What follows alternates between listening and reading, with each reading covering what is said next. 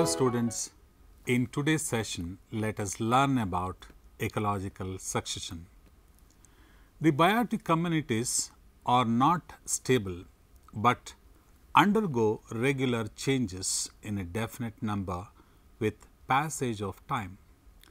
Every community undergoes a series of changes until a group of organisms is established which can live and reproduce most successfully in the area.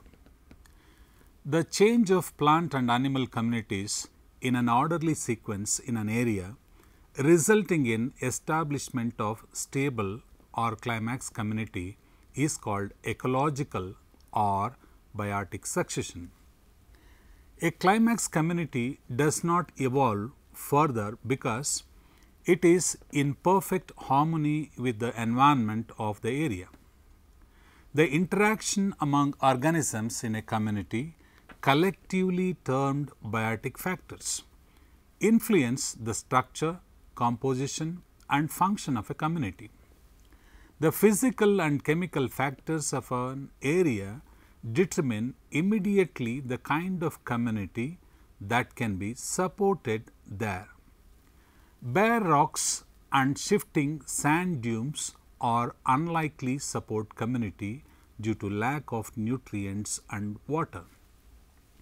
The interacting organisms of the community slowly change the physical and chemical nature of the substratum as well as the factors of the environment. The process of change is called reaction. It includes weathering of rocky substratum, binding of soil particles, holding of water, decreasing the effect of wind and keeping the substratum moist and cool in summer or warm in winter. For example, the lichens growing on a rock produce acids that corrode the rock surface and help in holding fine particles of rock and sand. The decaying organisms, metabolic waste and selective intake of chemicals change the composition of the substratum. As a result of reaction, the habitat becomes less favorable to the existing biotic community and more favorable to some invaders. This builds a new biotic community the later sets in a new reaction and hence new invasions. Thus, continuous reaction and invasion bring about continuous change in the environment and structure of biotic community. Ultimately, a biotic community is established which is in perfect harmony with environment of the area it remains permanent till disturbed. The first community which inhabits a bare area is called pioneer community. It has very little diversity and takes longest time to change the environment for invasion of the next community. The last and stable community in the area is called climax community. It is in perfect harmony with the physical environment. It is also termed as climatic climax community. It has maximum diversity and niche specialization. The intermediate community between pioneer and climax communities of biotic succession from pioneer to climax is called sere. In any succession, each seral stages is a temporary community. It may remain for a very short period or it may continue for years together. Sometimes some serial stages are bypassed or completely missed. Successions beginning on watery habitats such as ponds, lakes, marshes, etc are called as hydrarch or hydrosere. Successions beginning in dry habitats are termed as xerarch or xerosere. The xeroseres are of two types. Lithosere meaning sequence of succession stages on a barren rock and psammosere meaning sequence of succession stages on sand. The climax vegetation in any area is ultimately determined by its climate. The climax community throughout a climatic region is therefore the same whether it begins as a xerosere or a hydrosere. Now, let us learn characteristics of succession. The ecological succession is characterized by the following features, which we will discuss in detail. It tends to progress from unstable biotic community to stable biotic community that is complete adjustment with the environment. Its several stages are so regular and directional that an ecologist can often predict the sequence of future communities. In a successive several stages, there is a tendency towards an increase in species diversity, total biomass, niche specialization and humus content of the soil. It tends to progress from simple food chains to complex food webs. The habitat tends to modify from aquatic or dry conditions to moderately wet conditions. Succession of plants and animals communities occurs side by side. However, plant succession is easily visible. Now, let us study the different types of successions. Depending upon the nudity of area, biotic succession is of two types, primary and secondary. Number 1, primary succession. The biotic succession that occurs on a substratum devoid of earlier life is called primary succession. The sequence of successional stages of a primary succession is called prisere. Primary succession takes a very long time to reach the climax stage. Number 2. Secondary succession. The biotic succession that occurs in an area which have become bare due to destruction of previously existing biotic community by fire, drought landslide, earthquake, etc., is called secondary succession. The sequence of successional stages of secondary succession is called subsere. Secondary succession takes comparatively much less time to reach the climax stage. Now, let us take some examples to understand succession. Succession on bare rock or xerarch or xerosere. It is sequence successional stages that occurs on bare rock. The bare rock is deficient of water. Hence, the sequence of several stages of succession is also called xerosere. The rock habitat is extremely xeric. Water and nutrients are extremely scarce the conditions are aggravated by exposure to sun, wind and extremes of temperature. The first inhabitants are pioneers of such a habitat are usually lichens. In the temperate regions, cyanobacteria in tropical regions. The various stages that develop in lithosere are first the lichen stage. Lichen propagules reach and grow into lichen thalli on the bare rock. When the latter is wet by rain or heavy dew, the pioneers on such substratum are the crustose lichens such as Graphis, Rhizocarpon and Lecanora. They are slow growers and can stand extreme desiccation. The lichens produce acids which corrode rock surface and release minerals required for proper growth of lichens. Small depressions are produced in the rock by corrosion.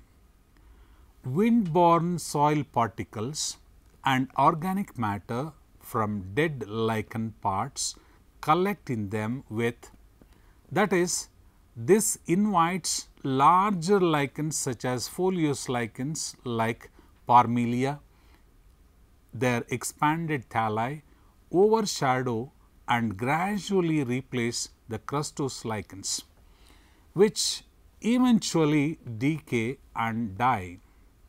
The foliose lichens retain more water and accumulate more soil particles as well as organic matter. It leads to the development of a fine layer of soil on the rock surface. Second, moss stage.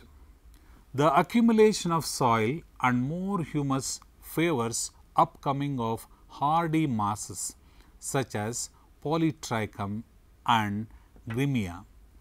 Mosses accumulate more soil and organic matter.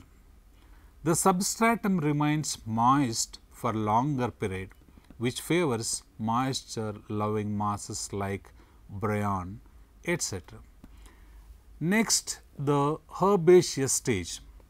The death and decay of the older mosses often produce a mat on the rock surface. The mat formed by mosses on the partially fragmented rock become suitable for the germination of seeds of annual hardy grasses like Eleusine, Aristicula and Poa. The roots of these plants accelerate the process of rock disintegration. This increases moisture and soil. Several small animals also invades the habitat. Then the shrub stage. Due to further withering of rocks, some xerophytic shrubs such as rhus, rubus invade the area of occupied by perennial grasses. The roots of the shrub reach depth causing further cracks in the rocky substratum resulting more soil formation. The soil is further enriched by humus formed from the fallen leaves and twigs. The shrubs shade the area and make it moisture.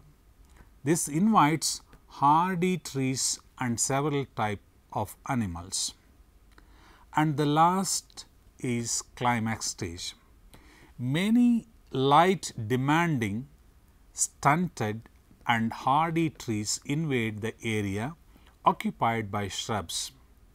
Gradually, the environment becomes more moist and shadier. The light demanding shrubs and earlier trees give place to more shade tolerant and mesophytic species of trees. A steady state is reached between the environment and biotic community. It is called complex community. The type of climax depends upon the climate. It is a rainforest in a moist tropical area and a coniferous or deciduous forest in temperature area. A grassland appear in the area with less rainfall. Succession in a pond or lake is also known as hydrarch or hydrosere. A hydrarch begins in a newly formed pond or lake. The water is deep in the middle and becomes progressively shallow towards the bank. The different stages of hydrosere are first the plankton stage. It is the pioneer stage of hydrosere. Planktons means free floating bodies. The spores of planktons reach to the newly formed water body through wind or animals. The planktonic stage mainly includes minute autotrophic organisms such as green flagellates, unicellular organisms, etc. These are called phytoplanktons. The population of these mix with silt and form a soft mud at the bottom of the pond, which favor the growth of next stage. The second stage is the submerged stage. The soft mud mixed with organic matter favors the growth of submerged plants like hydrilla, utricularia, etc. They are rooted in the mud and fill the water. Accumulation of silt and sand around the plants make the water body shallower.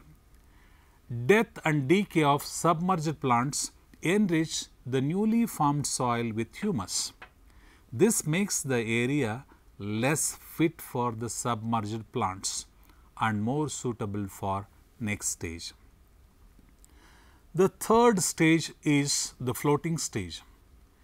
The area is invaded by the species of floating level anchored plants like nymphaea. These plants make the water rich in mineral and organic matter. Rapid growth of these plants shallows the water level on the periphery. The fourth stage is the reed swamp stage. The amphibious plants like Typha, Sagittaria, etc. replace the floating plants in the area. These plants produce abundant amount of organic matter and transfer huge amount of water. These plants build up a shore by setting down sedimentary materials and humus. The substratum now changes to a marshy soil. The fifth stage is the sedge or marsh meadow stage. The marshy shore of the water body is invaded by carex. Some grasses like dichanthium and some herbs like Cotula also inhabit the area. The plants add more humus in the area. The sixth stage is the woodland stage. The periphery of marsh meadow stage is invaded by some shrubby plants which can tolerate bright sunlight as well as waterlogged conditions. They cast shade and make soil dry by rapid transpiration. Some trees capable of tolerating sunlight and water logging such as populus also invade the area. These plants further lower down the water table. And the last stage is the climax stage. Many trees which have shade loving seedlings invade the area. They grow to greater height.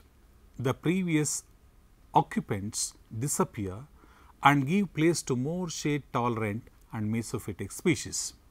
Thus, the area once under deep water becomes finally transformed into a forest. It should be remembered that the nature of the climax community will depend upon the climate. Hope you have got a good insight on the ecological succession that is how one community is replaced by the other. Until we meet again with more interesting topics, bye.